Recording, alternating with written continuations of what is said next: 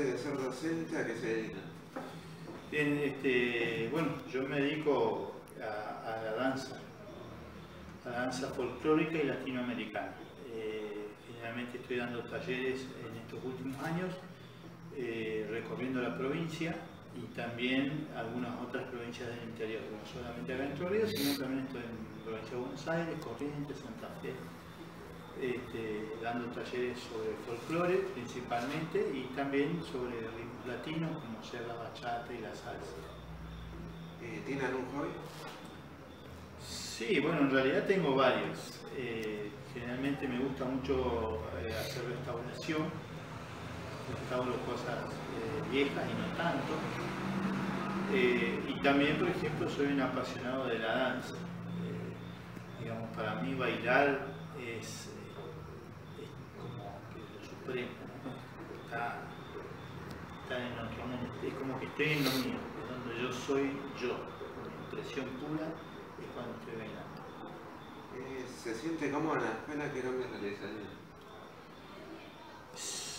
Bueno, cambios. Eh, si uno pudiera ¿no? hacer cambios, eh, es muy difícil. Primero que nada, porque es una escuela que en estos últimos años creció mucho. Eh, hace 15 años atrás, eh, esta escuela tenía cuatro aulas, eh, seríamos como mucho 60 alumnos. Hoy estamos, tenemos 11, hay 11 aulas. Este, el año pasado hasta llegamos hasta hace unos años, hasta el año pasado tuvimos el anexo, que era otra parte de la escuela que funcionaba en otro edificio, o sea que en realidad no eran solamente 11 aulas, sino que eran 11 aulas acá, más 6 en el otro edificio, eh, ya era una cosa muy desbordante, por suerte, eh, no sé si por suerte, pero eh, digamos, esa, esa, este, ese otro área de la escuela, haberlo designado a, otra escuela, este, nos salvó las, papas, por decirlo de alguna manera, más que nada por el desgaste que implica este, tanta, tanta actividad. Este, bueno, eh, este, uno dentro de todo hace, y bueno, por cambiar en realidad tampoco se puede cambiar todo de un día para el otro, en el sentido de que eh, hay mejoras en cuanto al, lo que hace al cuidado, ¿no? porque eh, antes un chico se lo golpeaban y uno no podía hacer nada. Hoy por hoy eh, se puede ver eso, se puede evitar cuadros de violencia.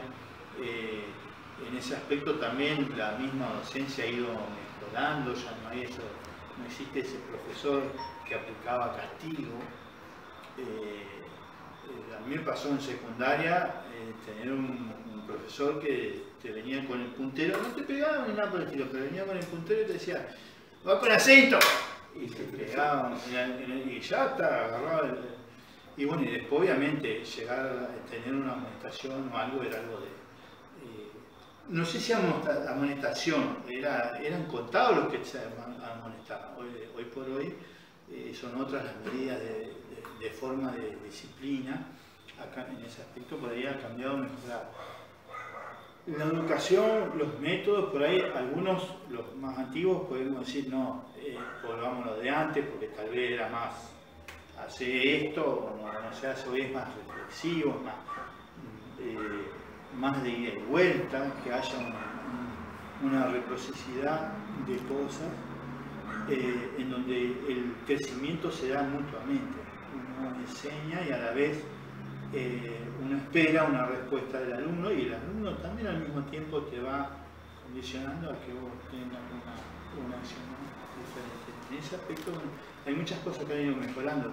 Eh, las tecnologías, los avances tecnológicos bien aplicados también son, muy buenos. O sea, el tema es que por ahí no, algunos eh, ya casi no quedan esos docentes que están reacios a los cambios tecnológicos, entonces como que de a poquito, pero bueno, como todo proceso lleva un, tiempo, a veces queremos ir más rápido y no, y no podemos. Pero bueno.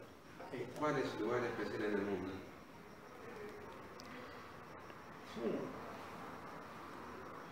Mi lugar especial en el mundo, yo no tengo un lugar específico, puntual. Pero yo diría mi país, Argentina. He tenido la oportunidad en mi adolescencia de recorrer el mundo. No recorrí todo el mundo, pero he tenido oportunidad de andar en el sur de Europa.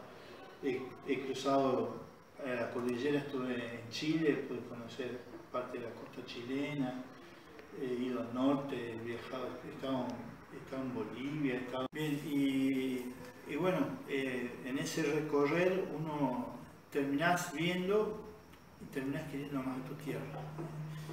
Este, si bien yo en estos últimos eh, 20 años me radiqué acá en Entre Ríos, en Colón puntualmente, pero soy un aferrado a mi país, me encanta y cada vez que tengo oportunidad de, de ir a algún lugar eh, de mi país lo disfruto y mucho.